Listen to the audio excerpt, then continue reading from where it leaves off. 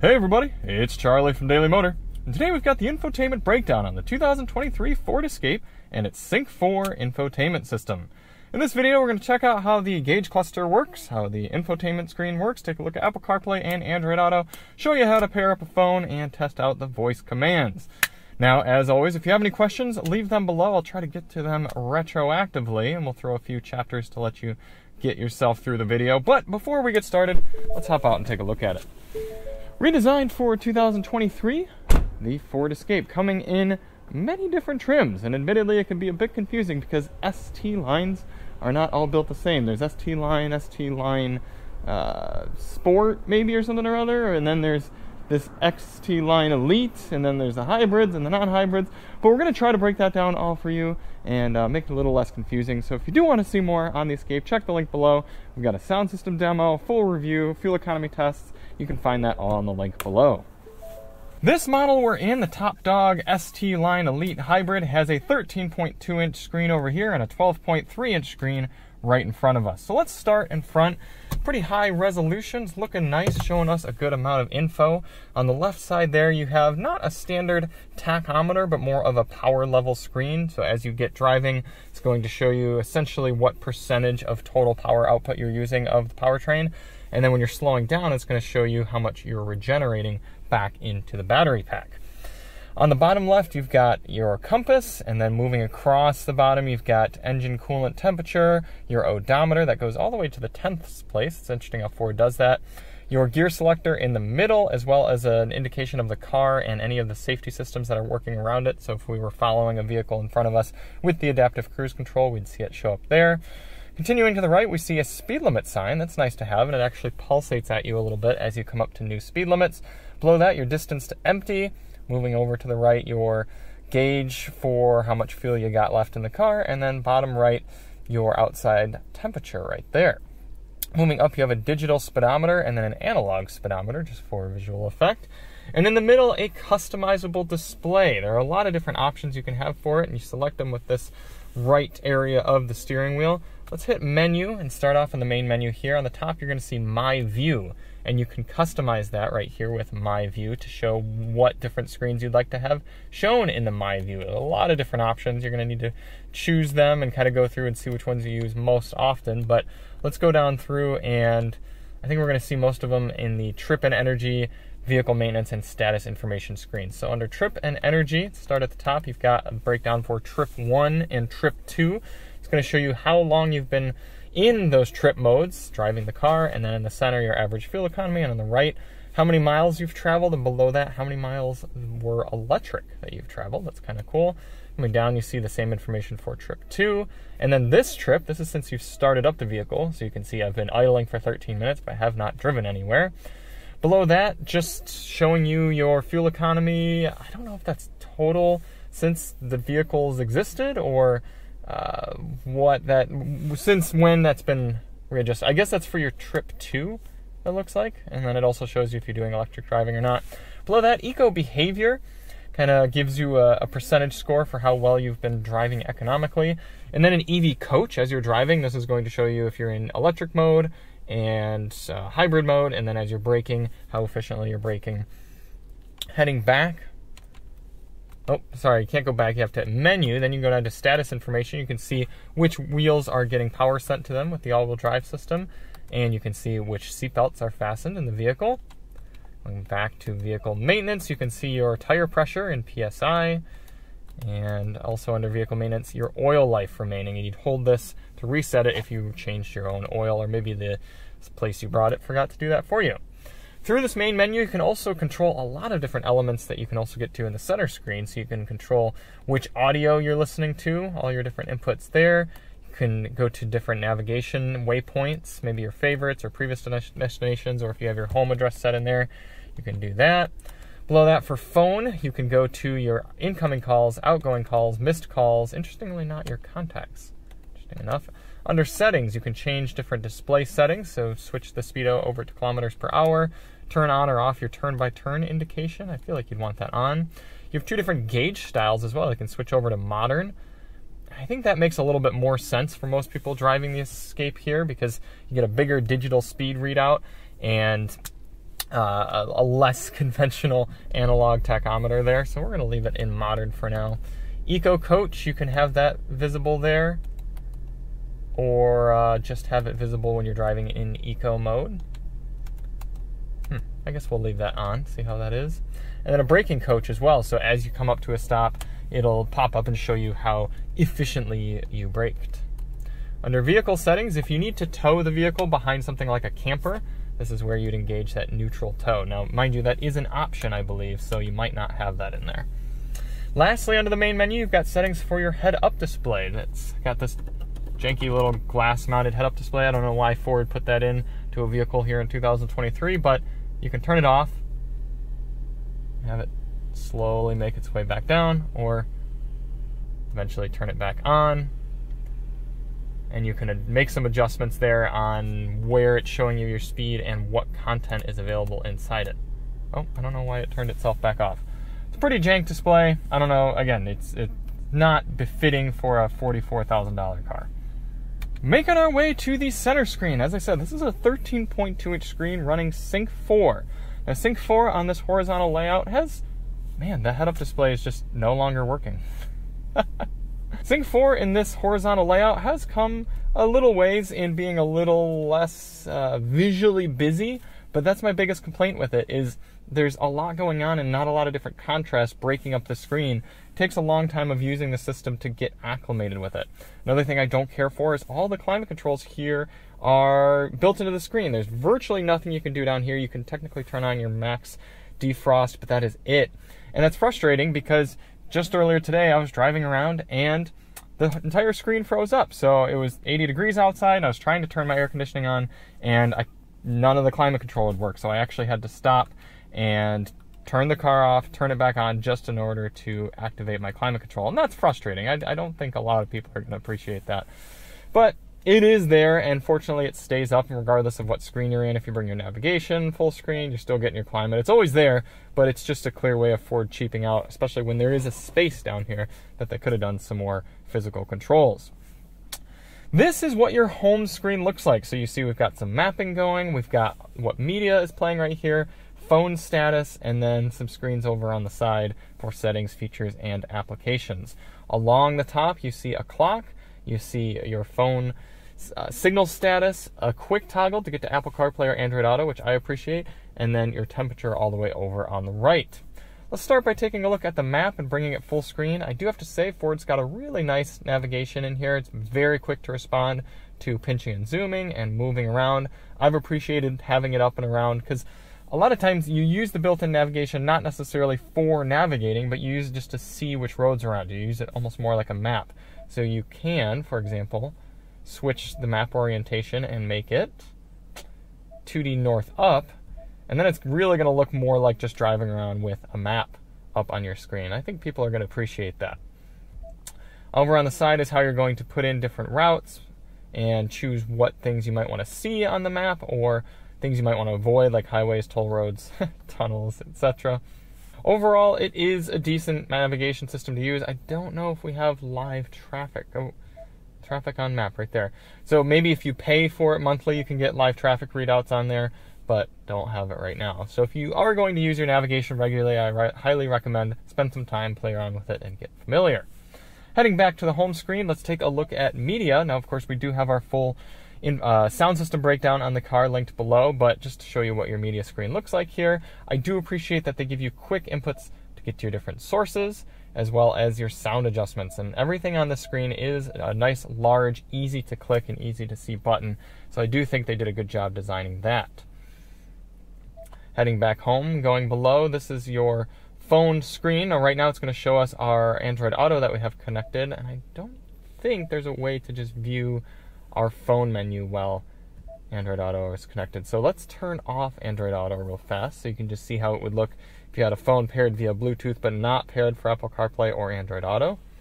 There we are. So if we have Android Auto disabled, this is going to be your phone screen. You're going to be able to view your contacts nice and easy right from there. You're going to even be able to type in and, and bring up a certain contact, for example. You can go back and view which phones are paired up to the screen and you could dial things in right there the keypad pretty easily and you can get to your text messages Heading home, we, I guess we'll make it up to, let's go to the top right. Let's go through settings. Now, we're not going to dive, dive into every single detailed setting here in the car, but we'll just go through some of the more important stuff. Again, phone list right here. If you do need to connect to a different phone, that's how you're going to do so, and you can choose which things you're using the phone for. You also got some phone settings right in there. You can adjust things like, oh, what do we see? Manage your contacts, change your ringtone for your phone, a few different settings for roaming and low battery notifications. Continuing on to the right, we have sync navigation settings. These are going to be the same map settings that we saw earlier. Sound is interestingly grayed out. Maybe that's because nothing's playing. Yes. If you got something playing, then it gives you your sound screen. You can adjust your tone, treble, mid range, and bass, etc. On vehicle settings, you have a setting for 30 minute max idle. So, like right now, when we're just idling the car, if I sat here for 30 minutes, it would turn the vehicle off. Rear occupant alert, this is coming on uh, standard. It's trying to prevent kids from getting left in hot cars in the back, being forgotten there. If you're someone who never travels with children, you're welcome to turn that off. Easy entry and exit. Right now, as this is set with seat adjustment on, when I turn the car off, it's going to move the seat back and make it easier to get in and out of, you know. But some people don't like that, so they can turn that off. Whoops. There we go. Huh, okay. Remote start setup. What do you want to turn on when you remote start the car and how long do you want it to stay on for? If you want your rain sensing wipers on or off, you can enable that there under wipers. Power lift gate, if for some reason you didn't want the power lift gate to work, you could turn that off. Lighting, auto high beams, that's set to on right now, and it doesn't look like there's a way to turn that off via a button. So if that's annoying you, you're gonna have to turn that off here on the screen. Same with your daytime running lamps. I don't know why you'd want those off, but if you wanted a night ride, you could turn those off from there as well. Under ambient lighting, this is how you're going to turn the ambient lighting on and off in the car. I don't think we have any colors to choose from. It's simply white lighting that lights up the cabin. Under locks, if you wanted the car to uh, let you know, kind of honk when you double lock the, the, from the key fob there, you do that. Also, when you press the unlock button on the key fob, if you want just the driver's door or all the doors to unlock, you're to take care of that there as well. And door keypad code. One of my favorite things in Fords is having the five digit keypad code on the outside of the car. This is how you're going to set your custom keypad code. You got to know the factory code, which probably came to you in your glove box from the dealership, and then slot that in there, and you can set a custom one. Continuing on down here, clock settings. This is how you're going to change your clock. If you wanted to maybe have it a few minutes fast to get you to your places a little bit quicker, you could do that. Or you can simply choose auto time update and the car will set the clock for you regardless of daylight savings time or time zone. Also, if you're someone who wants a 24 hour clock, you can choose that right there. General settings, you're going to be able to change your language between English, French, and Spanish. Temperature units, Fahrenheit and Celsius measurement units, miles and miles per gallon, kilometers and liters per 100 kilometers, or kilometers and kilometers per liter. Lastly, you've got tire pressure units. You can choose between PSI, KPA, and bar. Right here, your touch button beep. If you don't want the screen to beep like it has been as we've been clicking things, you turn it off right there. We're going to leave that off for the rest of the test. And lastly, you can reset everything to your factory defaults there at the bottom under reset. Continuing on under display, you can turn on a calm screen. If you're just driving along, you don't want all that visual busyness in the middle there. You can choose calm screen and you simply see the date and time. Some people are going to appreciate that. Brightness for the screen, I always forget to turn this all the way up before we start filming. Oh, just kidding, it is all the way up, even though it's only halfway through the slider. Why does Ford do this? I guess it's not the only brand that does it, but it's just kind of funny to me that this is dim and then halfway up is the max you can go. Then different modes, you've got an auto or day and night. So if you choose night, you're going to see the screen going into a darker mode. Some people might appreciate having this on all the time. It's going to be a little easier on your eyes and you can still navigate the system just fine. But if you want it to turn into that mode automatically, depending on the time of day, then you're going to want it in auto. Under connectivity, this is how you're going to turn off the vehicle's built-in hotspot as well as the connections to the cellular data and and a Wi-Fi connection so that you can actually connect this car to your home Wi-Fi and download updates. And actually, unless I'm mistaken, you're not getting a Wi-Fi hotspot. No, no, there it is. Sorry. So vehicle hotspot actually isn't found in connectivity. Strangely enough, it's over here under its own tile, vehicle hotspot. So if you want to provide and pay for monthly a vehicle Wi-Fi hotspot for other devices in the car. You can manage that there. You could change the name and password of your Wi-Fi hotspot network.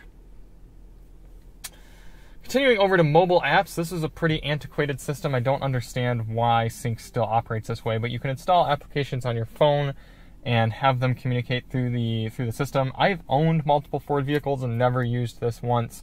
I don't know why it still exists. Maybe if you use it, let me know in the comments. Software updates, if you're connected to a Wi-Fi network and want to update the software here on the screen, you're going to choose that. Skip over Ford Assistant for the moment. Lastly, 911 Assist. You're going to want to have this on so if you have an accident, it's going to automatically call 911 for you.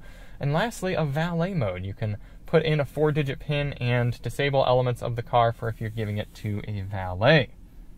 One thing I failed to mention at the beginning, but I suppose is decently important, is when you're on something like this media screen or settings or whatever, you do see a split screen layout. And this you can swipe through and see kind of a persistent screen, whether it's navigation or your phone settings, your trip, or your fuel economy. And I believe, no, I guess you can't swipe that away even though it's kind of movable there. It stays up in one spot. Below settings on the home screen, we have features. This is going to give you a few different features, if you will. So we have drive modes, sport, eco, and slippery and normal. You can also access those via a button down below here driver assistance if you wanted to turn on or off some of your assistance, such as traction control, adaptive cruise control. You can actually change that to have it just be a normal cruise control if you don't like using adaptive. Predictive speed assist. This will actually slow the car down or speed it up based on the um, speed limit signs that it passes. You might want to have that on or off. And then lane centering. I think you can disable that from the steering wheel as well, but you can do that from the screen also. Down here under speed limit assist, you can set a warning to alert you if you're going too fast. Below that, under the lane keeping system, if you're someone who likes to change lanes without using your turn signal, then you might want to have this off because it's going to beep at you. Or if you choose alert and aid, it's actually going to beep and nudge you back into the lane if you're departing your lane accidentally. Pre collision assist, so this car will actually alert you and apply brakes if it detects that you're about to have a forward collision. You can turn that on or off there. I don't know why you would. Cross traffic alert, so as you're backing up, if there's a car coming by you, then you can turn that, uh, you can be alerted by that, that's on by default. And then reverse brake assist as well. If it looks like you're about to back into something, it will apply the brakes for you. Over here under features, you see the power flow screen. This is going to show you what your powertrain's doing. Nifty for these hybrid powertrains. So you can see right now the engine is running, charging up the battery, and once the battery is charged up enough, it's going to shut back down. Unfortunately, I don't see a way to see your current charge level in the battery on this vehicle. It's kind of a bummer. I like to know, even though it's not a huge battery, I still like to know how much charge is in there. But I'm kind of an EV nerd. And then lastly, you can get to a built-in owner's manual here. Maybe if you need help figuring out a way to do something on this system, you can consult your owner's manual. Can we search for something like uh, fuel? If you need help fueling the car, what's that going to give you? Fuel gauge limitations, fuel economy, fuel tank capacity built in right there. That's nice to see. Except, is it actually telling me what it is? Advertised capacity. No. So it doesn't actually tell me what the advertised capacity is. ah, that's that's pretty silly. Oh, right here we go. It's, it's lower. Fuel tank capacity. There it is. 14.2 gallons. Nice. Coming back to the home screen, we've got this apps menu, and that's almost showing you the same thing as we saw above in features. You got power flow, but then also the ability to get to Apple CarPlay and Android Auto, which we will do now. But we're going to go home first. A few different ways to get to Apple or Android Auto and Apple CarPlay technically. If you're on the home screen, you can click this big box, but I appreciate that regardless of what screen you're on, you've got a hot button right there to get to it. This is how your Android Auto is going to look. You've got the split screen setup with Google Maps taking up most of the area and then a little bit on the side for your music. Opening up Google Maps, you can drag and drop around. Good refresh rate on here. Uh, resolution's a little low, but I think it's because I'm using my trap phone, not the main device. I think it needs some updates. YouTube Music over here on the right, that's what it's going to look like brought all the way up. You can access your different music from there. And your phone screen, going to show you your contacts and give you the ability to dial a number right in there as well. Bringing you back home, you can click down here to get all of your different Android Auto applications. Okay, let me show you how to pair up a device. from the home screen, we're going to click over here on settings and then make sure we're swiped over to the left to get to phone list and add phone. Down here on my iPhone, I'm going to bring up the settings screen, click on Bluetooth, and then right now I see Ford Escape pop up. Click on that. Confirm that the pin display. I'm going to hit yes on the screen and pair on my phone. Allow anything that pops up on my phone screen and the car screen. For your safety, please stay alert to changing Then it asks me if I'd- voice-activated features while your vehicle is in motion. Then it asks me if I'd like to use CarPlay on my phone. I hit yes. Enable it on the screen. And there we go. CarPlay coming up. Looking good. Taking up, again, just this area of the screen. I can go to my app screen. Again, nice refresh rate. Pretty impressed by that. Oh, the vehicle's going to shut off soon. There's that auto off coming in. Let's go to Google Maps. Again, with CarPlay, you can't drag around. You can't pinch and zoom. You got to use these physical controls right there, or I should say, kind of virtual buttons. Here's what your YouTube music's going to look like after it loads up. Let's hit the Super Mix, see what we're getting on our now playing screen on the iPhone. Some Doja, Doja and the Weeknd. Is that always how he spells his name, or is that it must be abbreviated, right? That's kind of funny. Going back home, let's take a quick look at your phone screen. You got your favorite contacts, the ability to get right to the keypad, view all your contacts, etc. Let's head back home and check out one last thing. Let's try out the voice commands. Now, I don't know. Do we have do we have a hot word in here? Let's see. Yes, we do have the ability to turn on a wake word, so you can use OK Ford. Let's turn that on. Ooh, you have some actually different options on the preferred wake word. These are your three different options. Four, rather. Four different options. okay, Ford. What's the weather like today? All right. Please try again. What's the weather like today? Say something like call John Smith. Navigate to One American Okay. Dearborn, Michigan, the Sirius channel name or FM 88.7. One sec. We need to turn off advanced mode. That's going to make it go quicker, right? Yeah, fewer prompts. Okay. Can you really not ask things like weather? Hey, Ford. Okay, Ford.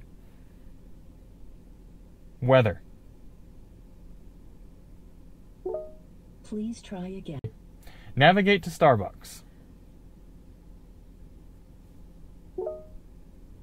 Please choose. 1.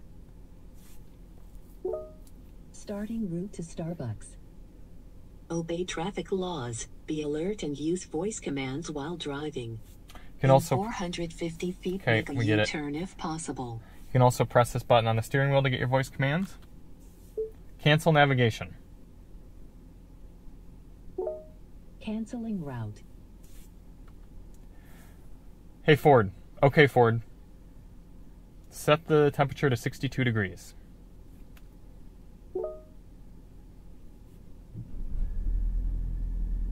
Alright, so it did change it right there. So, not the most advanced voice command system, but you can do some of your basic vehicle tasks. And if you want to use your phone's voice command, like your Android Auto or Apple CarPlay, you can hold down this button. And then that brings up Siri right now because we're connected via Apple CarPlay. Or, yeah, Apple CarPlay. All right, so there it is, the Sync 4 system here in the updated Ford Escape. Did I answer all your questions? If you want to know anything more, throw it down in the comments below. I'll try to get to you. And we'll see you on the next one. I'm Charlie from Daily Motor, and as always, drive on.